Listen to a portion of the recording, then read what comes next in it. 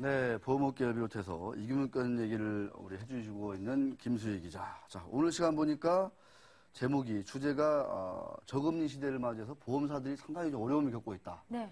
그래서 이제 이런저런 탈출구를 찾고 있다 이런 얘기인데 실제 이제 보험사들이 이제 고객들한테 이제 보험료를 받아서 그죠?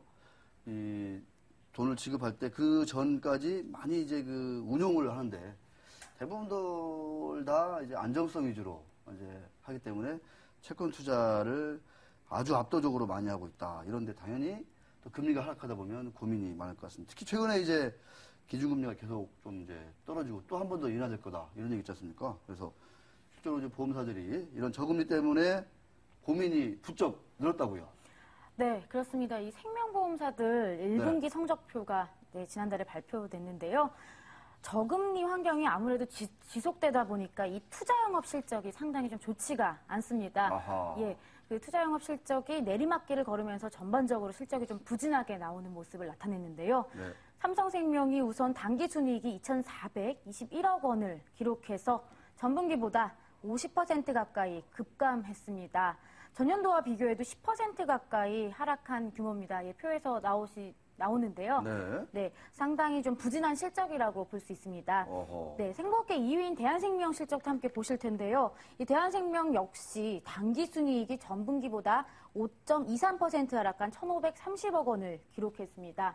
뭐 전년도는 전년도와 비교하면 소폭 오른 상태긴 하지만 그렇게 좋은 실적은 아니라고 예, 전문가들은 좀 분석하고 있습니다. 네. 예, 아무래도 당연한 얘기지만 금리가 하락하면 부채가 자본보다 좀 증가하면서 보험사 자본의 실질 가치가 감소하게 되는 금리 위험이 존재하게 됩니다. 음. 특히 이 가장 이 리스키한 것이요. 이 장기적으로 투자 수익률이 하락하면서 금리 역마진 손실이 누적되기 때문에 보험사에 불리하게 작용되는 것으로 분석되고 있습니다. 네.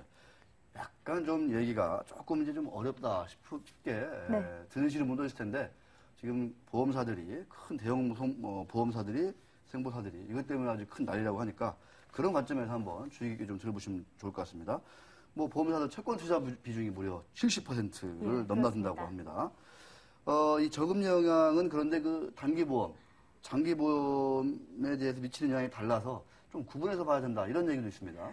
네, 사실 그 단기 보험에 대한 저금리의 영향은 주로 이 나가는 보험금, 즉 네. 손해율 상승을 보전할 투자 수익 하락으로 나타나고 있고 장기 보험에 비해서는 사실 그 금리 위험에 대한 노출이 크지 않은 상태입니다. 하지만 가장 좀 문제가 심각한 것은 장기 보험입니다. 아, 장기 아까 보험. 앞에서 말씀드렸다시피 금리 역마진에, 역마진에 대한 위험이 크다 이렇게 말씀드렸는데 이 금, 금리 역마진 꼭 아셔야 할 필요가 있는 것 같습니다. 네. 예, 이 금리 역마진이라는 것은 어, 가입자들에게 높은 금리를 주겠다 약속하고 결국 자산운용 수익률은, 수익률은 높게 나오지 않으면 그것을 따라가지 못하면서 이 손실이 아. 발생하는 건데요. 장기 보험의 경우에 이 투자 수익률이 지속적으로 하락하다 보니까 기존에 판 그 고금리 상품 때문에 금리 역마진 부담이 크게 나타나고 있고 금융당국 역시 이것을 아주 주시하고 있는 상황입니다. 제가 좀 쉽게 예를 들어서 그. 예, 대한생명의 백수보험이라는 걸 좀, 백수? 네, 네. 이름이 좀 재밌죠. 예. 아, 백수 화이트 했는가요? 아니면 뭐죠? 네, 이 백수보험은 예정이율만 12.5%인 상품인데요. 아. 예, 과거에 과거에 팔았던 상품입니다. 근데 12.5%. 예, 예, 오, 상당히 지금과 비교하면 이런 상품이 사실 없죠. 없죠. 예. 그런데 이런 상품을 유지하고 또 이 상품에 유지하는 고객들이 지속적으로 있다 보니까 예. 이 근데 요즘 나오는 자산운용 수익률은 사실은 채권만 해도 뭐 3%, 많아야 4%. 예, 그러니까 이 한 9% 정도 뭐, 와. 예, 영, 역마진. 금리 역마진이 나기 때문에 이것을 보험사가 그대로 떠안고 특히 심각한 것은 대형 보험사의 경우 이런 고금리 상품들을 많이 팔아서 음. 더 심각한 상태라고 합니다. 이 백수보험 같은 경우도 어, 대한생명이 팔고 있는 상품이었는데 여- 한, 한 달에 한 200억 정도의 손실이 꾸준히 나고 있다고 합니다. 예. 아, 이거 뭐 장난이 아니군요. 네, 그렇습니다. 열심히 저, 저 보험 설계사분들 이제 더운 여름날 돌아다니시면서 보험 열심히 팔아봤자 이런 백수보험 한, 한두 개 때문에 네, 손실을 다, 이익을 다 까먹는 또 이런 모습이 또 연상이 되기도 합니다. 네. 자, 이 이제 문제는 뭐냐면은 이런 그 저금리 기조가 이제 쉽게 바뀌냐고 볼 때 그렇지 않다는 문제 있지 않습니까? 네. 지금 뭐 기준금리 3% 3.0%인데 연내에 한 번 더 내린다는 얘기가 있어요. 오히려 더. 이런 거 생각하면 보험사들 영향을 더 받을 수 있을 것 같습니다. 어떻게 보시나요? 네, 아무래도 보험사들이 이 돈을 굴리는 데 있어서 가장 중요한 것이 이 금리인데요. 네. 전문가들은 금융통화위원회가 7월에 금리를 내린 데 이어서 올 하반기에도 한두 차례 금리를 더 내리지 않겠냐라고 전망하고 있습니다. 어, 제가 직접 전문가와 인터뷰를 해봤습니다. 먼저 들어보시죠. 네. 최근에 금리 동향은 아시겠지만 하반기 경제 성장률 지표 자체가 그 자꾸 delay가 되는 부분이 있습니다. 경제 성장이 뭐올 상반기만 해도 뭐 3Q나 2Q쯤에 반등한다고 봤는데요. 실제 그 시점이 delay가 되다 보니까 금리 인하 가능성도 점증을 하고 있고요. 이에 따라서 7월 달에 금리 어, 네. 네, 가장 중요한 것은 이렇게 금리 인하 인하에. 가능성이 보험주 투자 심리에는 크게 영향을 미치는 것으로 음. 예, 아무래도 좀 악화되는 쪽으로 전망을 하는 전문가들이 많은데요. 왜 그러면은 이 금리 인하가 보험주의 투자 실적 악화에, 투자 실적 악화와 또 투자 심리에 영향을 주는지 한번 직접 한번 또 다시 들어보시겠습니다. 네. 투자 영업 부분에서 보험 전체적인 운용 자산 사이즈에서 70%가 구정부 자산으로 이루어져 있는데 그런 부분에 있어서 그 어느 정도의 투자 영업 이익률의 하락은 불가피할 것으로 보고 있습니다. 저 김태민 연구원이라는 분은 상당히 좀 보험사에 대해서 속속들이 잘 아시나 보죠. 네. 네, 상당히 날카로운 지적을 해주시고 있는. 날카로운 지적을 네. 네, 여기 있습니다. 보험 전체 자, 투자 자산 중 70%가 고정부 자산으로 이루어져 있다. 네. 이제 이게 좀 어려운 말이긴 한데 이런 이야기 쉽게 이야기하시면 실제로 그냥 예금에 넣어놓고 네. 네, 그 저금리를 기대하고 있다. 이렇게. 네, 이렇게 비판한 실제로 그 보험사 전 사장도 사실 있었습니다. 그렇습니다. 그래서 좀 안이하게 사실 자산 운용을 물론 이제 보험사 투자라는 것이 안정적으로 이루어져야 한다라는 의견이 많았지만 또 상대적으로는 너무 자산 운용을 너무. 보수적이고 안이하게 해왔다 아. 이런 지적도 사실은 같이 있었거든요. 어, 적정한 자산 배분 운용을 하는 데 있어서 이런 게 이루어져야 되는데 뭐 70%를 그냥 채권에다가 싹 넣어놓고 금리만 딱딱 따먹는 그런 운영이면 제가 해도 되지 않을까요, 사실? 네. 사실 이게 시스템이기 때문에 네. 누가 가도 가능한 거 아니냐. 그래서 어. 사실 CEO도 그게 크게 영향을 미치, 자산 운용 부분에 있어서는 그. 역할이 크지 않다라는 이야기도 사실 아니 있습니다. 뭐 채권에다가 한 80% 넣어놓고 네. 그냥 뭐 20% 그냥 뭐 좀 했다 했다 하면 될 것 같긴 한데 자 결국 금융당국이 이제 이렇게 되면은 어 저금리 시대에서 보험사들의 뭐 건전성이 좀 악화될 수 있다 또 이렇게 또 얘기할 것 같은데 실제로 좀 그런 경고성 목소리가 많이 나오고 있나요 어떻습니까? 예, 실제로 그렇습니다. 어. 예, 김석동 금융위원장이 그 최근 열린 국가장 회- 회의에서 어, 지금 우리나라 보험사들은 절벽을 향해 달려가는 기차와도 같다라고 경고하고 나섰습니다. 이야. 예. 참 의미 있는 말인데요.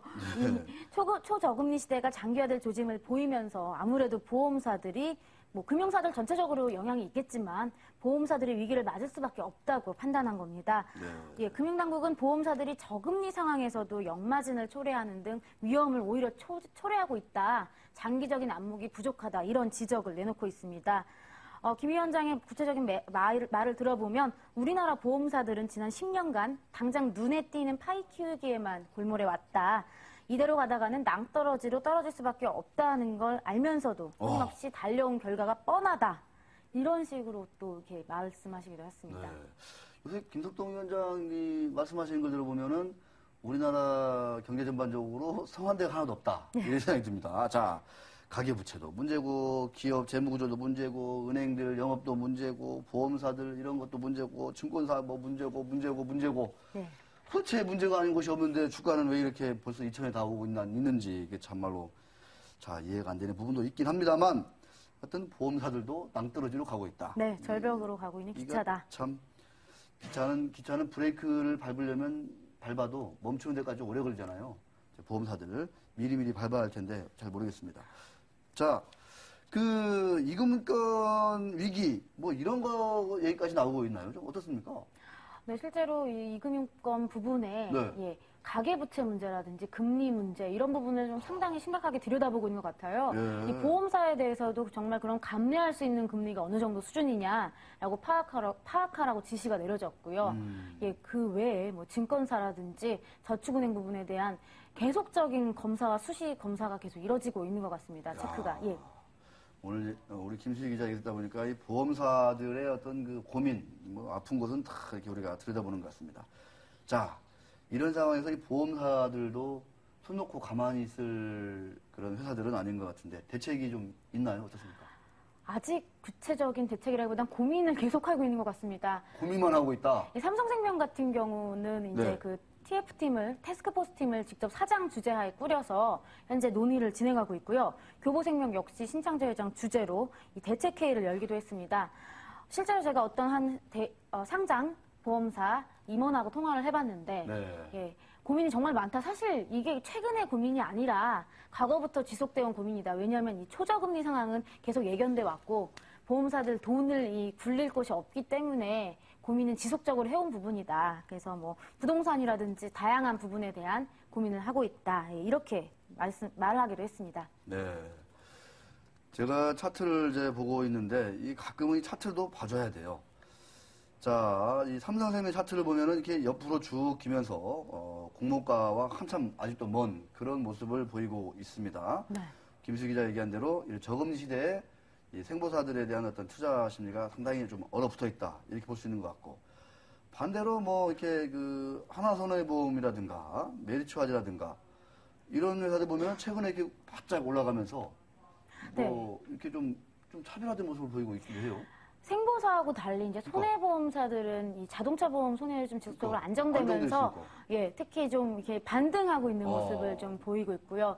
예, 특히 하나 손해보험 같은 경우는 이 김승현 회장의 판결로 어. 하나그룹주가 다 떨어진 날에도 혼자 반등하는 모습을 보여서 좀 예, 의아스러운 모습이 나타나기도 했습니다. 근데 그렇습니다. 전체적으로 다 같이 뭐 오르는 모습이더라고요.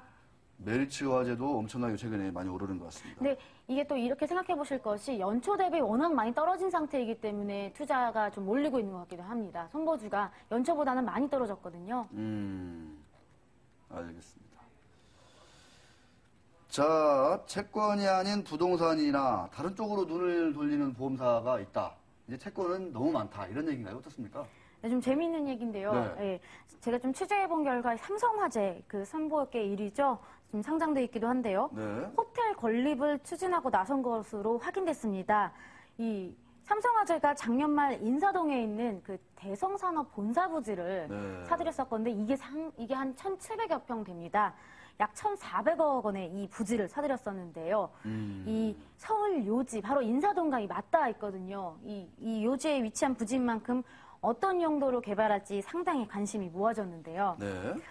근데 이제 제가 계속 지속적으로 취재를 해본 결과 최근에 예, 이쪽입니다. 예. 네. 예, 최근에 이 관할구청인 종로구청에 관운동 이 부지에 대한 개발 계획서를 제출한 것으로 확인됐습니다. 어. 근데 이 계획서를 보면 삼성화재가 해당 부지를 관광과 숙박시설로 활용하겠다 이렇게 밝혔거든요.